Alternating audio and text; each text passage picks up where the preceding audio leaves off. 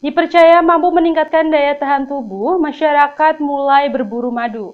Penjual madu asal Giling, Kecamatan Gunung Wungkal, Agus Widodo pun kebanjiran pesanan.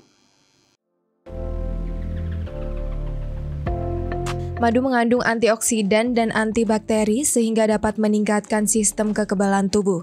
Kondisi ini membuat seorang penjual madu asal Desa Giling, Kecamatan Gunung Wungkal bernama Agus Widodo meraih keuntungan dari adanya usaha yang ia lakukan. Agus menjual madu bunga randu yang merupakan madu unggulan asal Kabupaten Pati. Madu ini memiliki aroma dan rasa yang khas dan jauh lebih sedap daripada madu-madu yang lain. Madu ini hanya mampu diproduksi setahun sekali menyesuaikan musim bunga randu itu sendiri, sehingga kelangkaan madu tersebut meningkatkan nilai jual. Harga madu randu yang Agus jual senilai 100 ribu per botol dalam berat kemasan 700 gram. Kini ia menyimpan persediaan madu bunga randu mencapai satu kuintal. Hal itu dilakukan agar ia bisa memenuhi kebutuhan konsumen. Sementara itu harga madu bunga randu cenderung stabil.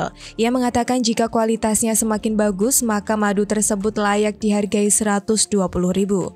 Namun ketika kualitasnya turun madu itu pun hanya mampu dihargai 80 ribu saja. Konsumen yang tertarik dengan madu yang ia jual tak hanya menjangkau Kabupaten Pati, namun juga daerah luar Jawa seperti Bali dan Sumatera.